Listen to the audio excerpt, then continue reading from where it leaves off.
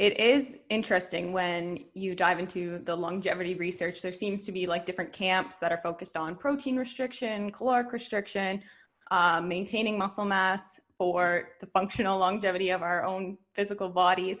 Um, yeah. But this changes how we view different macronutrients or how we view our diet and lifestyle. So, where do you think we can like strike a balance between growth hormones and activity, but also not doing it, not overdoing it to the point that we might be promoting overgrowth of cells that we don't want proliferating? Um, right. Yeah, do you want to go into that? Yeah, so I mean, I think that um, that's that's a really hard question to uh, to to answer well. In part because um, almost all of the data that we have to extrapolate from comes from studies in laboratory rodents, which you know are really really powerful for uncovering mechanisms and digging into the biology.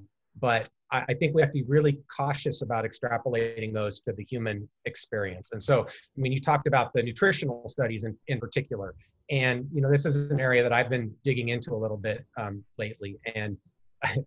I, I, I, guess if I had to sort of sum it up in uh, you know a minute, what I would my interpretation of the mouse studies is caloric restriction is robust and usually works, but there are many instances of genetic backgrounds in mice where caloric restriction does not extend lifespan.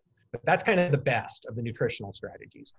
And then when you start to look at things like protein restriction, intermittent fasting, fasting mimicking diet, most of the studies looking at those nutritional interventions are really caloric restriction because the experimental groups are calorically restricted. So people sort of market them as different things, but most of the data is actually caloric restriction. When you then ask, if we look at these things like protein restriction, intermittent fasting, fasting mimicking diet in an isocaloric setting where now the now they're not calorically restricted there's really very little evidence that you get anything more than maybe a modest effect on on lifespan or health span um, and yet it gets marketed to the general public as if these are really well established ways to slow aging. So first of all they're not well established in mice at least in an isocaloric setting.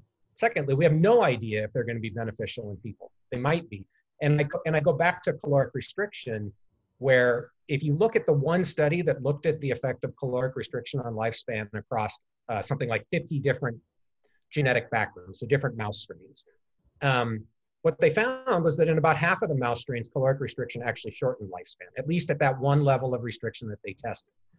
So in the the only study, and there are lots of imperfections in that study, but in the only study that really tried to do this, you know, uh, well, looking at genetic variation in the context of caloric restriction, half the time it, it either had no effect or it actually harmed the animals from a lifespan perspective. And that's the best data, right? I would be really careful about recommending to people who are genetically diverse and environmentally diverse that they should try something that actually shortened lifespan half the time in a controlled laboratory setting. And yet, you know, I, I think sometimes, it, so I think sometimes the perception gets way ahead of the actual data. So that's a that's a maybe a long-winded way of saying that um, I don't think I think that these nutritional studies in aging are super powerful to learn about mechanism. I just think we need to be careful about making recommendations on lifestyle from those. Okay, so then what can we conclude? And and and here it gets to be a little speculative, but you know my I mean, and this is kind of obvious. My take home is we know that um, we know that too many people eat too much, right? We know that there's an obesity epidemic that leads to greater risk for a variety of diseases.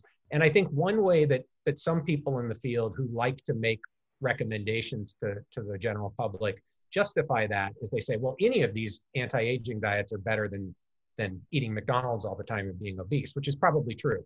Um, but what's less clear to me is that you're going to get an added benefit if you are sort of normal weight and active that that caloric restriction or intermittent fasting or fasting mimicking diet or ketogenic diet that you're really going to get a big added benefit as long as you are not overweight and obese and you're you know moderately to to uh, to highly active right? That that's sort of my guess. Um, i'm not saying that you won't get any benefit. The other thing i will say is sort of my personal view on this is that it's not going to be a one size fits all that we know based on genetic variation and environmental variation that different people respond very, very differently to the same diet.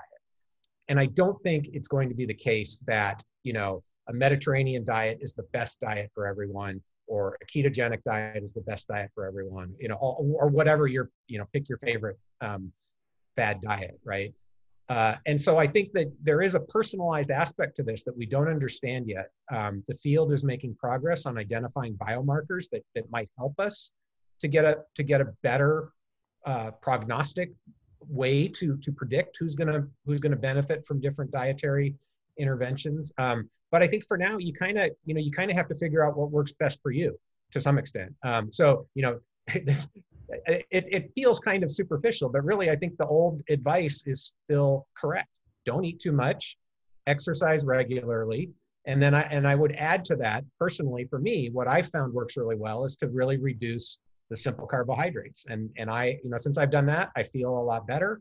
Uh, and so I think you kind of have to figure out what you know what what works for you, given your unique genetic makeup and, and the environment that you experience. Yeah, and I want to go. I think I also I also want to add. I don't know that I'm going to live much, you know, a lot longer, and I don't know that I'm aging more slowly from that. It's just what you know. It's what gives me the best quality of life.